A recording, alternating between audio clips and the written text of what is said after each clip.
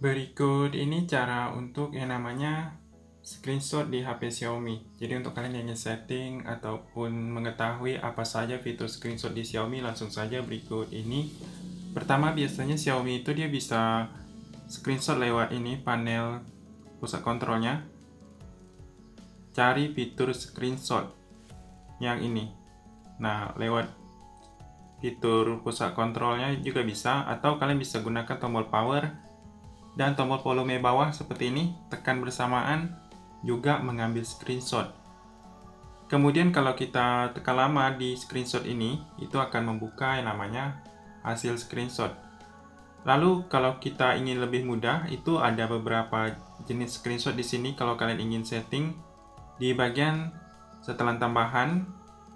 Nah, di sini biasanya ada pintasan gerakan, kemudian kalian lihat ada screenshot sebagian dengan tiga jari, itu juga bisa kita set. Kemudian ada juga bola pintas. Nah, yang ini kalian bisa hidupkan bola pintas, kemudian lihat di sini. Nah, yang melayang ini itu ada screenshot juga. Kemudian ada juga biasanya di bagian pintasan tombol.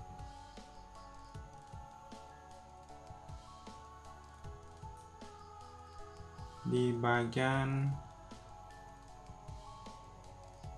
navigasi sistem ada pintasan tombol. Nah, di sini ada tekan lama tombol menu. Bisa juga kita set untuk ambil screenshot. Kemudian ini perintah-perintahnya bisa kita setting masing-masing. Jadi kalau ini tekan lama tombol menu di sini tekan lama. Nah, itu mengambil screenshot juga. Kemudian biasanya yang tiga jari itu kalau kita ketik di sini tiga jari, geser ke bawah dengan tiga jari di bagian pintasan dan gerakan untuk mengambil yang namanya screenshot. Di bagian ini biasanya pintasan, gerakan, kemudian ini screenshot sebagian, ada juga ambil screenshot, nah yang ini. Kemudian screenshot bisa juga pakai fitur ini yaitu aksesibilitas.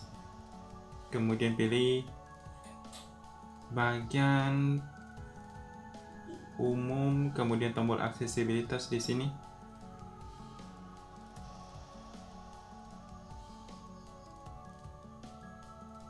Ini biasanya bisa muncul lokasi di sini bisa menu navigasi. Ini gara-gara pakai tombol melayang ini jadi dia tidak muncul. Biasanya pakai tombol itu juga bisa. Nah, yang ini menu aksesibilitas ternyata bukan tombol, tapi menu aksesibilitas. Tombolnya tadi itu untuk setting letaknya yang ini. Pilih di sini ada tombol screenshot juga di bagian ini. Nah, yang ini ada tombol screenshot. Jadi seperti itu, silahkan diaktifkan di bagian menu aksesibilitas ini juga bisa. Itu saja, semoga bermanfaat.